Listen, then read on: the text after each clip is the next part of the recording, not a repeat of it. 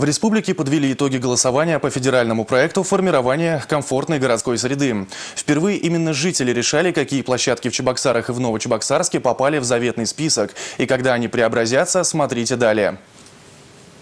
Каждый житель столицы Чувашии смог выбрать три из 18 предложенных общественных пространств. Только в Чебоксарах в рейтинговом голосовании приняли участие более 150 тысяч жителей. Им действительно не безразличен облик города. Первое место горожане отдали территории перед торговым центром Шупашкар. За реконструкцию этого объекта проголосовали 55 тысяч чебоксарцев. На втором – Московская набережная и на третьем – Красная площадь. К их благоустройству приступит уже в мае этого года года. До тройки лидеров чуть-чуть не дотянули Кадетский сквер, сквер имени Чапаева, Дорис Парк, Театральная набережная, сквер УДК «Салют». Эти, а также 10 общественных пространств будут реконструированы в рамках федеральной программы формирования комфортной городской среды до 2022 года. В Новочебоксарске же в этом году благоустроит нечетную сторону улицы Винокурова. За этот дизайн-проект проголосовали 8,5 тысяч жителей. Благоустроят пешеходную часть от Верхней набережной до до улицы Советская. Власти надеются, если люди сами выбирали места для благоустройства, то и относиться к ним они будут более бережно.